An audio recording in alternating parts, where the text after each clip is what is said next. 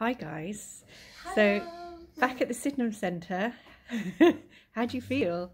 Feels good to be back. Yes, We're inside this time. thankfully. yeah, we are. And of course, um, we have Valentina who's joining the cast this year. I'm super excited. It's my first uh, performing job after lockdown, so I'm really looking forward to it. Mm.